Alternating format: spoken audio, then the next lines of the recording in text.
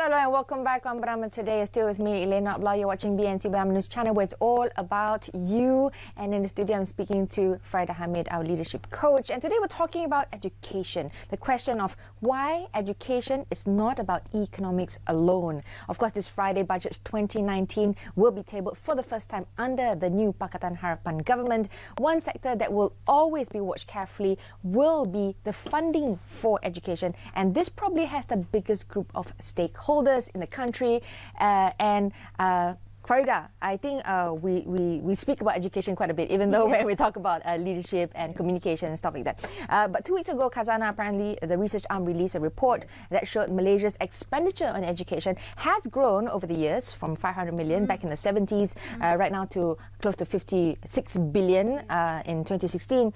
But Khazanah has cautioned that funding alone did not equal results. I think this is a key point. Funding does not equal results. Mm. Now, it is cited, of course, a World Bank study that said that despite going to school for an average of 12 years, uh, Malaysian students get only about nine years worth of meaningful education. That's really sad yes, in terms of that, no that comparison, right? yes. And uh, so, to discuss if more funding for education is actually needed, how can we prepare young people to be more productive for the digital economy, Faridah? Mm. Uh, let's look at this.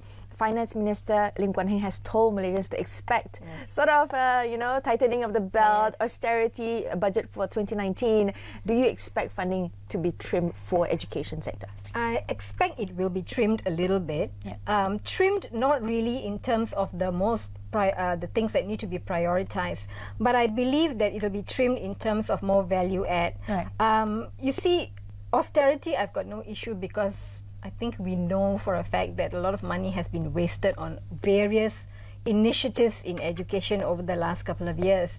So I think we have to look at education uh, throughout our history has largely been an economic issue because we've been going from an agricultural uh, society to then an industrial society and now to a digital economy. But there's two sides to this whole discussion.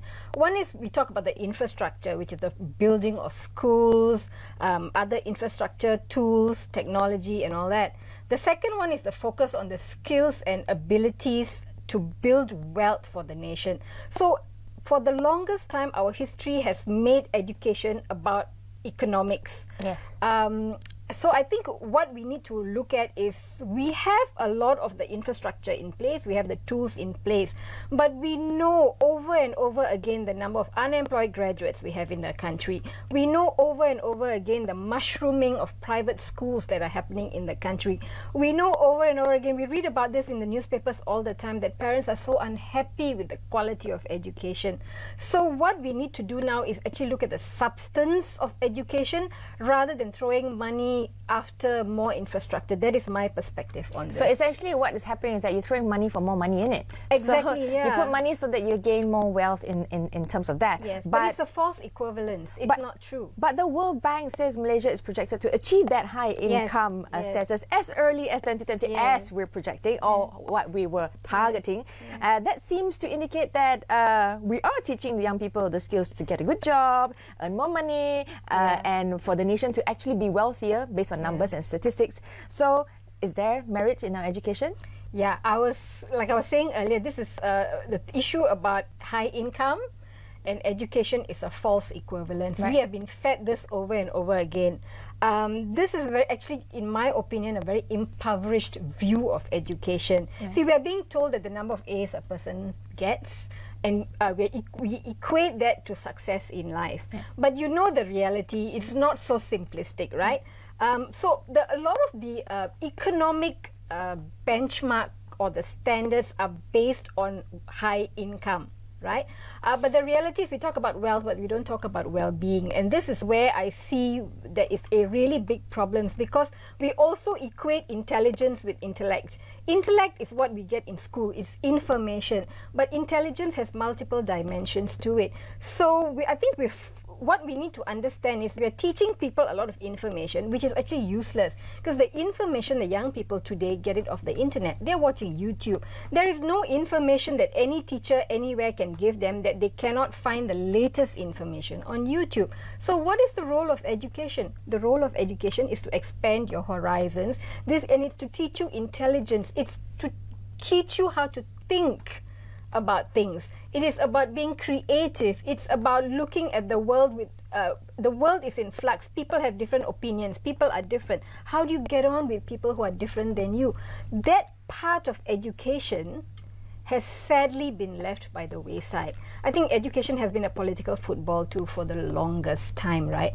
Um, and so this is where we are seeing a lot of problems because we are we are having we are so proud because our literacy rate in the in the I think our literacy rate is ninety eight percent or ninety nine percent. Something to be very proud of. Yep. But literacy alone does not make a human being. You can know your your literacy, you can know your mathematics, but what do you need to survive in this world that we, that is so uncertain going forward? That's right. Yeah. But I want to uh, touch on what you just brought up in terms of we've been bombarded with information, not just in schools, everywhere. There's information, Hmm. but that does not translate necessarily to being able to use that information. Yes. So that's the one thing that's missing here. If I would like to use uh, one word, it's connect.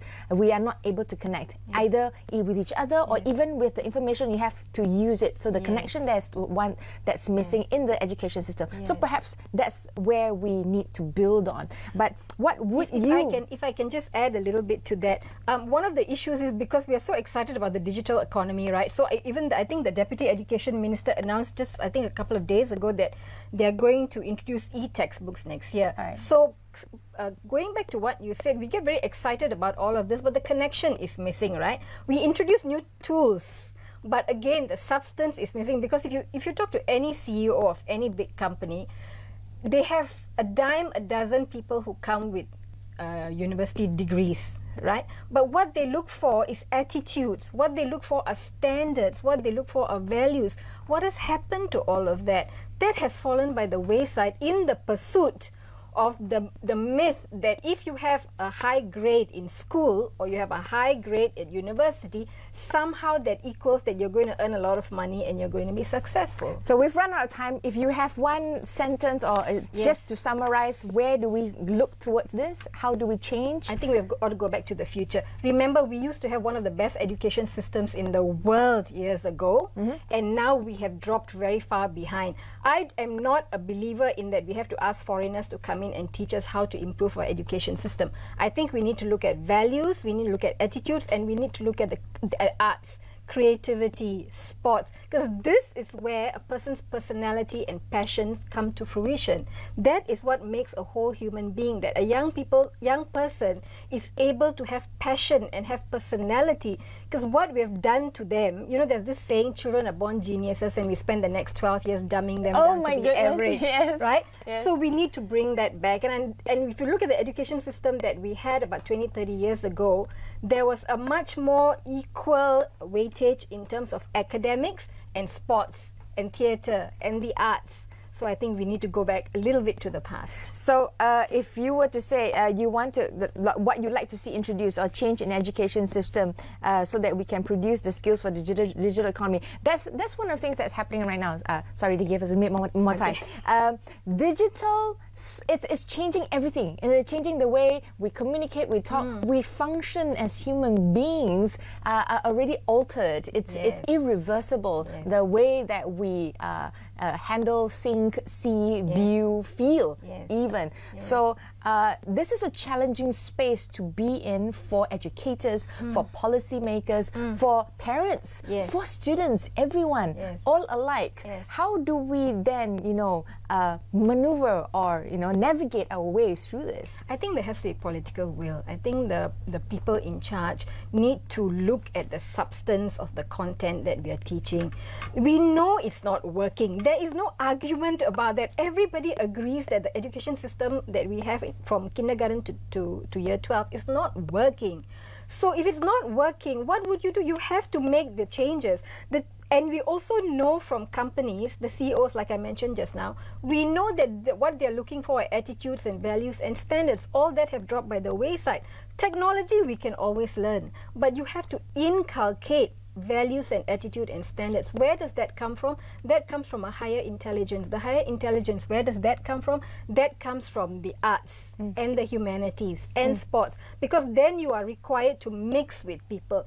You see, we have lost our imagination mm. with digital technology, yes. right? Yes. Because anything and everything that you want to find out, so you can find click. out, right? Yeah. So we need to bring back imagination. How do we bring imagination back? It's with theatre. Right. It's with plays. It's with music. Which which is it's interesting. Which is interesting because I think we had these kind of conversations before about uh, the necessity for uh, engaging uh, your other senses, not yes. just you know about creating that uh, that next bug, earning that money, yes. you know, yes. getting that A, uh, but uh, being free to explore, being human in that sense, as opposed to being a bit robotic right now. But right now, you see, the focus is everything is about Industry 4.0, you know, uh, robotics, cybernetics, and all that. It's it's sort of like um, the focus of governments, and there is a little bit of a move away from the necessity for creativity. There is there is a place we talk about artificial intelligence, but we are losing the human intelligence, yes, right? Yes. Because these again, these are all technology and these are tools. We need them. I'm not discounting them. What I'm saying is, if we are going to build wealth for the nation, we cannot do it without the well-being of our people as well. Yes. So we must focus on the well-being because just to add a little bit of uh, um, um, not sad news, but a bit of worrying news, the National Mental Health Survey 2017 showed that one in five teenagers are suffering from depression, yeah.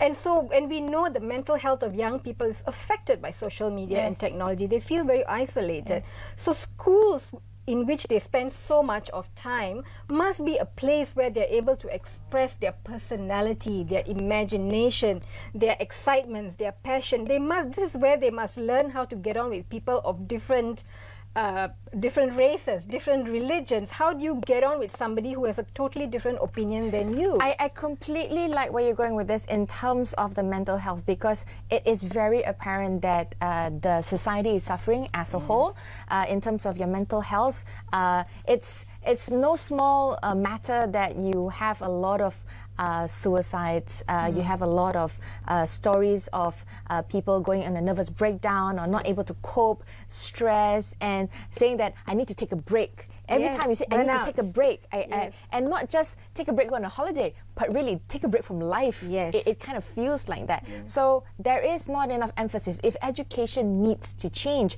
there needs to be some kind of focus on the ability to grow the our maturity, yes. to be able to handle the challenges that yes. are coming and are existent and here. And how can the education system in our system itself, not just external things that you have to subscribe to, whether it's good for tuition or take a course or take a workshop, but part of it, how can we inculcate and incorporate incorporate that in. That is why I feel, again, coming back to the arts and the humanities and sports. See, we give a lot of weightage to maths and science, which is fine. There's a lot of weightage there. Why can we not give equal weightage or the equal time for, for arts, music, dance, sports. Why do we not give them? They're actually pushed by the wayside in the pursuit still of the A's. Right. The A's which we think is going to give us money and then we're going to become a wealthy nation or a wealthy people.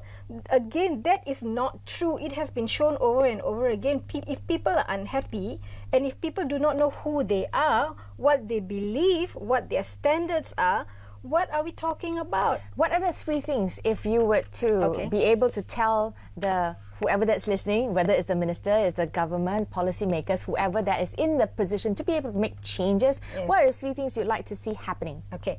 First thing is literacy. I think we got that pretty much right. So I'm not going to spend a lot of time. That is uh, English and mathematics and the such. The second one is pedagogy, mm. which is the teaching right? The teaching is not standing in front of a room and giving instructions. The teaching is not there's only one right answer to any questions. So the pedagogy, the way teachers teach, they're not actually teaching, they have to facilitate, mm. which means then you have a topic and then you have opinions. You encourage young people right. to have an opinion based uh, on age, age appropriate, whatever they may be discussing. People must be have an opinion.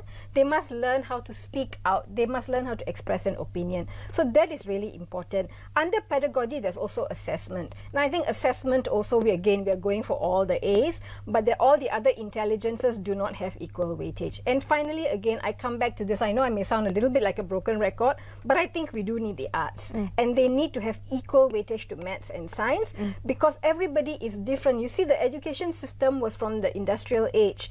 This was a very logical, linear kind of education. It is not creative education because it was designed to create blue collar workers mm. to work in factories, to follow yes. rules and regulations. Right. So, what we need now is we need for the future economy, the digital economy, what our country needs, what the world needs is people who are creative, who can come up with solutions that are different or, or at least an improvement that do not that to which we don't have the solutions right now. So when you put people in a cookie cutter kind of environment and you're trying to take someone who is very interested in music or sports and trying to make sure that they score very high on maths, what's going to happen is the person who is good in that area is not going to do well at school. Yeah. Again, I'm not saying anything we don't know, right? They're not going to do well at school because academics has largely been very linear. It's for people who have the logical, the left side has been the, the all the logical stuff, the maths and the science.